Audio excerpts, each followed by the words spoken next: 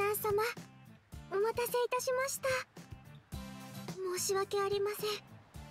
お誘いいただいたのに遅れてしまって女将としても失格ですね。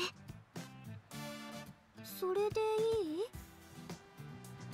えっと本日は仕事道具の買い出しでよろしかったでしょうか？はい。小春。供させていただきます。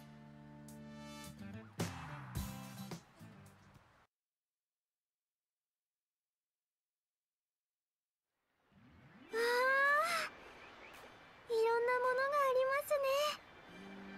ああのパイナップルみたいな形のスポンジなんてとても可愛らしくて。も申し訳ありません。一人ではしゃいでしまって。じゃあそれも買おうって。あおお待ちください。こっちは本がいっぱい。ああの小説読んでみたいかも。うん、うん、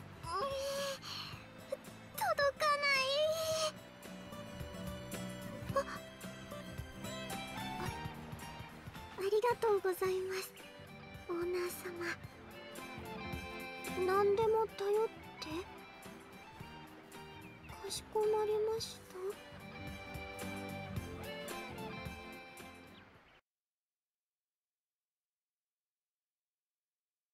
はあ結局お掃除グッズに本にいっぱい買ってもらってしまいました。オーナー様お荷物小春がお持ちいたします。そんな好きなものまで買っていただいたのに何も持たなくてもいいだなんて。今日のオーナー様はいつもよりさらにお優しくて。まるで小説のデートシーンみたいな。申し訳ありません。オーナー様相手になんて身勝手な妄想を。え？最初からショッピングデートのつもりだった？あ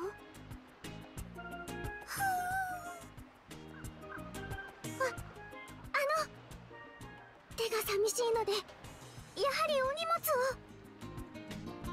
なら手をつなごうって？